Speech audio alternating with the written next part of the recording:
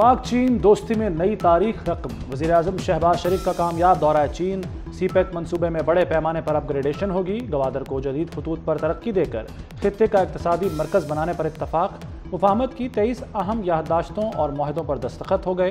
चीन, पाकिस्तान में ज़रात तोानाई infrastructure transport और समाजी और सकाफती शोबों की तरक्की में साथ देगा।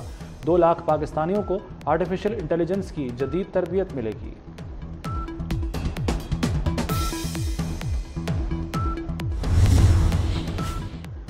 वज़ीर अजम शहबाज शरीफ की चीन की आला क्यादत से तवील मुलाकातें, सदर शी जिनपिंग और वज़ीर अजम बी चियांग से मुलाकातों में दो तरफा दरीना ताल्लुक को नई वसतों पर ले जाने का अज़म। शहबाज शरीफ का पाकिस्तान में चीनी बाशिंदों की हिफाजत का वादा। चीनी सदर ने दोनों ममालिक को बेहतरीन शराकतदार करार दिया। गहरे होते स्ट्रेटजिक ताल्लुक को सराहा।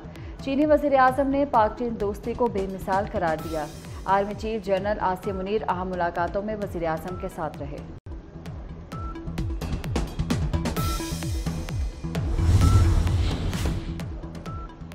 बीजिंग में ग्रेट हॉल ऑफ़ पीपल्स आमद पर शहबाज शरीफ का शानदार इस्तकबाल। पीपल्स लिबरेशन आर्मी के दस्ते ने गार्ड ऑफ़ ऑनर दिया, चीनी हम मनसब ने इस्तकबाल किया।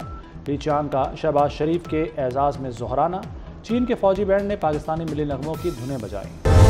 पाकिस्तान के मुख्तलि मकाम से माजुलहजा का चाँद नज़र आने की शहादतें मसूल हुई। इन यकम जुलहजा चौदह सौ पैंतालीस हिजरी, आठ जून दो हज़ार चौबीस, बरोज़ हफ़्ते को होगी। और ईद अजहा सतारह जून 2024 बरोज़ पीर को होगी। पाकिस्तान में ईद उल अजहा सत्रह जून को होगी। मुख्तलिफ़ शहरों में चाँद ने उफक पर जलवा दिखा दिया। चेयरमैन रोते हिलाल कमेटी मौलाना अब्दुल खबीर आज़ाद ने कौम को खुशखबरी सुनाई। सऊदी अरब और खलीजी रियासतों में ईद कुर्बान 16 जून को मनाई जाएगी। वजी अजम ने कौमी इकतदी कौंसिल तश्कील दे दी। शहबाज शरीफ कौमी इकतदी कौंसिल के चेयरमैन होंगे। वजर अला कौमी इकतदी कौंसिल के अरकान नायब वजी अजम इसाकडार और वजी दिफा आसिफ शामिल। वजी ख़जाना Mohammad Aurangzeb N E C के मेंबर मुकर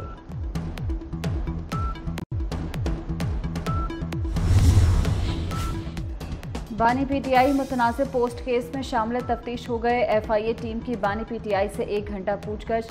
बानी ने वकला की मौजूदगी में जवाब दिए। तफ्तीश के आगाज़ पर एफआईए टीम ने बानी को एक्स से पोस्ट की गई वीडियो दिखाई। टीम में एडिशनल डायरेक्टर और सब इंस्पेक्टर शामिल थे।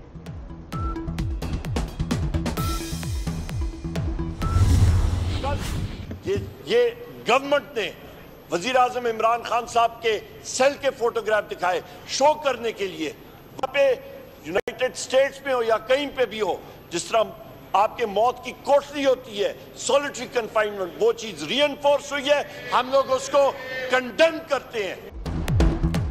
बानी पीटीआई को मौत की कोठरी में रखा गया है। उमर अयूब की हुकूमती दावों की तरदीद। बोले, बानी के सेल की तस्वीर से साबित हुआ कि वो कैद तनहाई में हैं। अपोजिशन लीडर की बुशरा बीबी को सहूलतें ना देने की मजम्मत। एफ़ आई ए में तलब किए जाने पर फट पड़े। डी जी एफ़ आई ए की ऐवान में तलबी का मुतालबा कर दिया।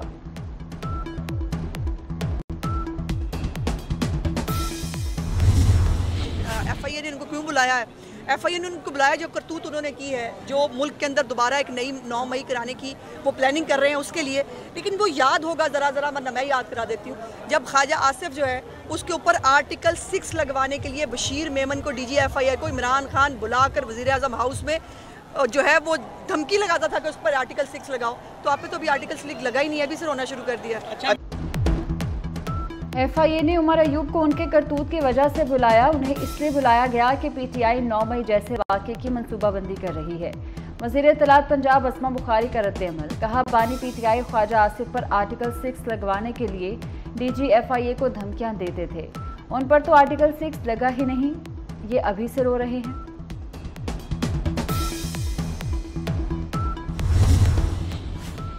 सिंध असम्बली में एम क्यू एम का शोर शराबा अपोजिशन लीडर अली खुर्शीदी बोले, सत्तर जाने वक्फा सवाल से ज़्यादा अहम हैं।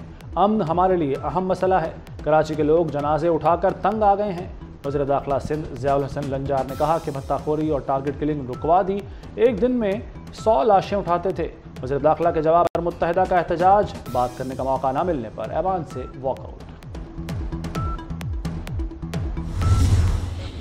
कभी कभी उनके रहनमा भी इस तरह के शोला अंगेज बयानियाँ देते हैं फिर माफिया भी मांगते हैं। इतनी करेज रखो, जो कहते हो उस पर अमल करो, जो कहते हो उस पर खड़े रहो। एम का मैंडेट भी सबके सामने है, किसी छुपावा नहीं, और एम की सियासत भी सबके सामने है, किसी से छुपी हुई नहीं है। जो टारगेट किलिंग है, वो कराची में कौन करता था, किसी से छुपी हुई नहीं है। भत्ता कराची में कौन लेता था, किसी से छुपा हुआ नहीं है। एम क्यू एम रहनुमा, पहले शोला बयानी करते हैं, फिर माफिया मांगते हैं। एम क्यू एम की सियासत और मैंडेट किसी से ढका छुपा नहीं। वज़ीर तलाश सिंध शर्जील मेमन की मीडिया से गुफ्तगु, कहा कराची में पहले टारगेट किलिंग कौन करता था? लंदन से फ़ोन आता था और दुकानें बंद हो जाती थी। चैलेंजेस के बावजूद जराइम कम हो रहे हैं। पंद्रह सौ दो फीडर्स हुए हैं जिनके ऊपर कोई लोड शेडिंग नहीं हो रही सर वो हाई लॉस फीडर्स के ऊपर, वो जो उनकी जो लॉस कैटेगरी है, उसके मुताबिक देख के छः घंटे से लेके दस घंटे तक लोड शेडिंग हो रही है जी। कराची में लोड शेडिंग पर नबील गबोल और अली परवेज मलिक आमने सामने। नबील गबोल ने कहा कि लियारी में 16 घंटे लोड शेडिंग हो रही है। वजर ममलिकत ने जवाब दिया लोड शेडिंग 10 घंटे हो रही है। नबील गबोल ने जवाब दिया 10 घंटे लोड शेडिंग हुई तो इस्तीफा दे दूँगा, वरना अली परवेज इस्तीफा दें। जो बिल देने वाले हैं, उनको भी वही सजा। जो बिल नहीं देने वाले हैं, उनको भी यही सजा। दस घंटे की लोड शेडिंग आपने कही। अगर ये सच साबित हो गया कि सिर्फ़ दस घंटे की लोड शेडिंग है, या तो आप इस्तीफा दे दें, और अगर मैं गलत साबित हुआ, मैं इस्तीफा देता हूँ। कराची वालों को 440 वॉट का झटका, बिजली दस रुपए यूनिट महँगी, अगले चार माह के बिल शहरियों पर मजीद भारी पड़ेंगे। जून के बिलों में दो रुपये सड़सठ पैसे अदा करना होंगे। जुलाई में तीन रुपये दस पैसे, अगस्त में तीन रुपये बाईस पैसे, सितंबर में निन्यानवे पैसे फ़ी यूनिट इजाफी भरना होंगे। इजाफे का इतला के इलेक्ट्रिक के लाइफ लाइन सार्फिन पर नहीं होगा। नए माली साल का विफाकी बजट, टैक्स वसूली का हदफ, बारह हज़ार आठ सौ अरब रखने की तजवीज़, तनख्वाहदार तबके की शामत, इनकम टैक्स मजीद बढ़ेगा विद होल्डिंग टैक्स रेट्स बढ़ाकर तीन सौ अरब रुपए इकट्ठा करने का फैसला। वजी अजम शहबाज शरीफ की हिदायत पर एफ़ बी आर का आई एम एफ़ से दोबारा रबता। आई एम एफ़ से मुजाकर हतमी मरहले में दाखिल।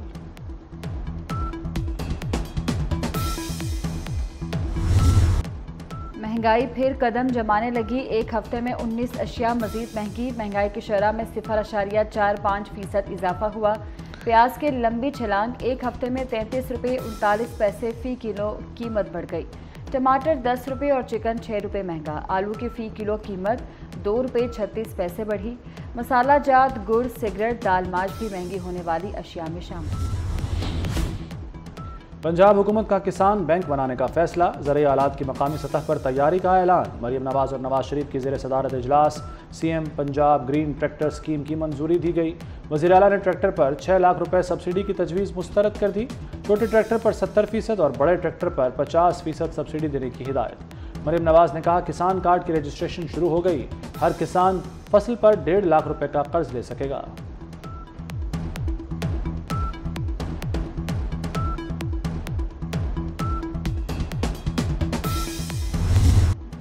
चीफ जस्टिस काजी फायज ईसा की ज़रिए सदारत सुप्रीम जुडिशल काउंसिल का अजलास chief justice Lahore high court chief justice Sindh high court को सुप्रीम कोर्ट का जज बनाने की सिफारिश। लाहौर हाई कोर्ट के जस्टिस शाहिद बिलाल हसन के नाम पर भी इतफाक हतमी मंजूरी के लिए मामला पार्लिमानी कमेटी को भिजवा दिया गया। ये देखें इस हाउस को आप मज़ाक ना बनाएँ। एक दूसरे को बात नहीं करने देंगे। हाउस को मज़ाक नहीं बनाएँ। इसकी जो सेंटिटी है उसको ना डैमेज करें। ये कोई तरीका नहीं है कि डिप्टी चेयरमैन जो कि चेयरमैन की गैर मौजूदगी में उसका रोल होता है आपने उनको बिठा के उसको आपने डेकोरेशन पीस बना दिया sorry he was sitting here well he was sitting here he was sitting here he was not I just saw him coming आप आप जरा अपनी टोन नीचे करें आप बोले आप कैसे बात कर रही हैं? कैसे बात कैमरे करें जी जैसे आप लोग करते हैं। आप। आप बात कीजिए। नहीं। आप बात कीजिए दोस्त साहब। अलबशा खान की जेर सदारत सेनेट इजलास पर अपोजिशन का एहतजाज। शिबली फराज बोले ऐवान को मज़ाक ना बनाएँ। डिप्टी चेयरमैन के होते कोई और सदारत नहीं कर सकता। अलवा शाह खान ने कहा कि उनके सदारत संभालने के बाद डिप्टी चेयरमैन आए। ऐवान धोस धांधली पर नहीं चलेगा। मरीम नवाज़ और नवाज़ शरीफ के जर सदारत इजलास, रूडा मनसूबों पर चीन और आलमी इदारों से इश्तराक का फैसला, रूडा एरिया में मास्टर प्लान पर अमल दरामद यकीनी बनाने की हिदायत। अराजी की गैर कानूनी खरीदो फरोख्त रोकने का हुक्म। नवाज़ शरीफ ने कहा कि 2013 में रावी किनारे नया शहर आबाद करने का प्लान बनाया। बाद में आने वालों ने रुकावटें खड़ी की। रुकावटें डालने वालों के खिलाफ कार्रवाई होनी चाहिए।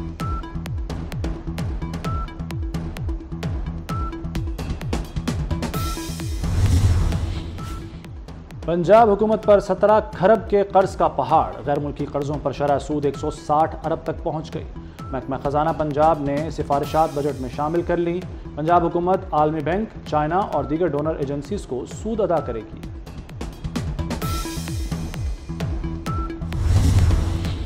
पंजाब में ईद उल अजहा तक मार्केट्स के औकात कार बढ़ाने का हुक्म। जुमा हफ़्ता इतवार को मार्केट्स रात एक बजे तक खुली रहेंगी। दूसरे दिनों में रात 12 बजे तक मार्केट्स खोलने की इजाज़त।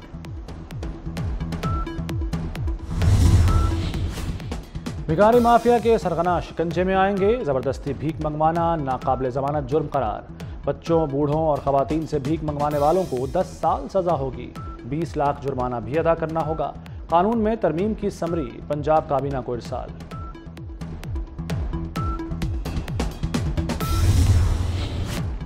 इसराइल के गजा में अकवा मुतहदा के स्कूल पर एक बार फिर बमबारी। स्कूल में पनाह लिए खवतिन और मासूम बच्चों समेत तैंतीस फ़लस्तनी शहीद हो गए। नसीरात और मगाजी कैंप पर हमले में नौ फ़लस्तनी जान से गए मुतद ज़ख्मी हो गए। गुजशत रोज़ भी इसराइली फ़ौज ने अकवा मुतहदा के स्कूल पर बमबारी की थी।